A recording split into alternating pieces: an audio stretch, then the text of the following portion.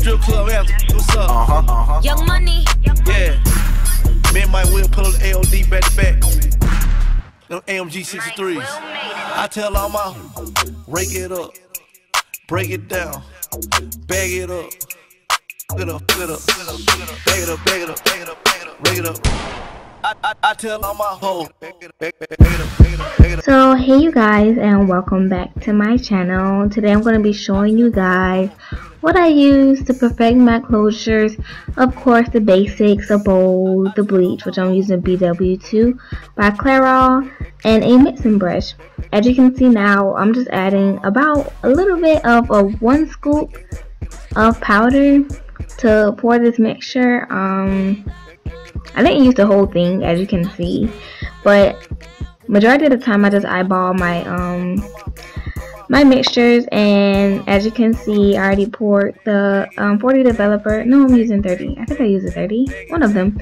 But I'm using the developer and I just mixed it in with the powder. And as you can see here it is fairly like I would guess watery. So I added more powder.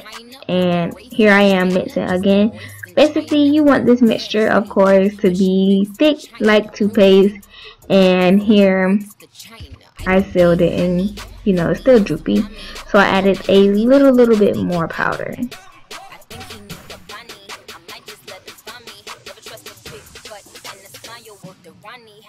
Now here is my closure with unbleached knots and anything. I already have the sides of the hair pinned with pins and I'm showing you that this closure still have black knots. My goal is basically to kind of bleach the knot so that they could be one easier to pull and two it could look a little bit more natural. Um, I'm not one to be very particular with how I bleach. Um, I'm literally just sliding it on. I'm not patting it in or anything that's why you can see that I'm having trouble spreading the product because it's so dense. But um, yeah, I don't bleach my whole closures. One, because um, after bleaching, hair tends to fall out. So I want as less hair as possible to fall out. And here I'm giving you an overview of my closure. Then I'm actually going to set my timer for, I believe it was 20 minutes.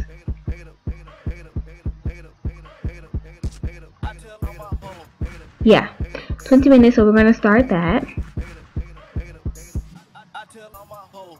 And what I do is I place my closure like face down, gently, do not press it in, like just tap it in if you can, and then fold the closure over with the aluminum foil.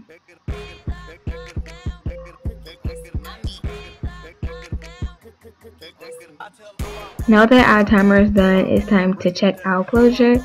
As you can see, it's starting to get a little orange, and we don't do orange closures over here. But I'm like, nah, you know, I want my closure to bleach a little bit more, so I set my timer again for 10 minutes.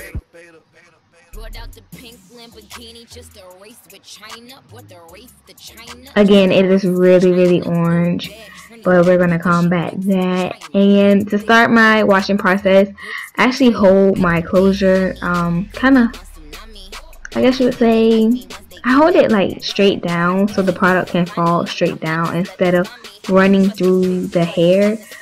But you really want to make sure that your closure is fully rinsed out. I think I did a terrible job of that, but I'm going to add my Garnier Fructis shampoo to kind of stop the bleaching process and to give my hair that nice luster and shine.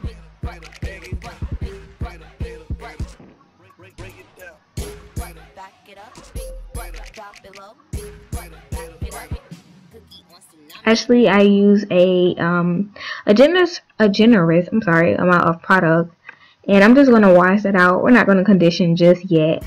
But I let this dry for a couple of hours, or I believe this was the next day, I'm not sure. But um, I just combed it out, and as you can see, it is now orange, and we don't like that. So we're going to actually, um, oh, here I am showing you the difference between one of my other closures and this closure. That's not cute. So we're going back to our washing station and I'm going to add my conditioner also by Garnier Fructis and I'm just going to moisturize the closure. You want to put some moisture back into the hair, especially at the roots where um, the closure was bleached.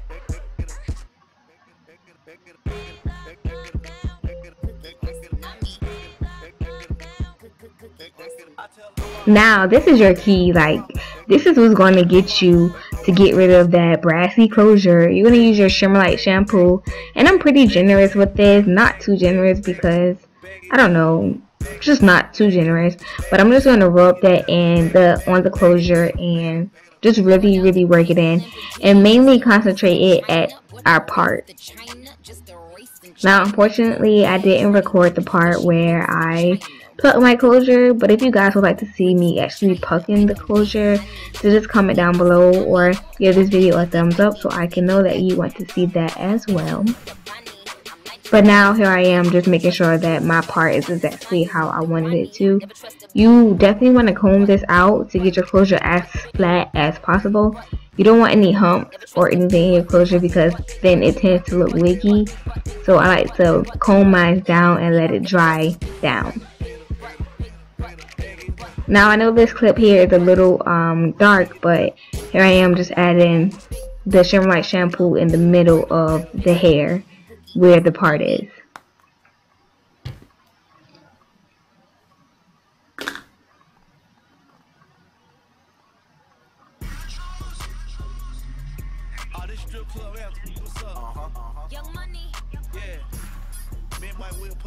So it's the next day and the hair is like 80% dry. Dry everywhere except where the part is and we're actually going to just wash that out as you can see. You can't really see any orange here but we're about to find out.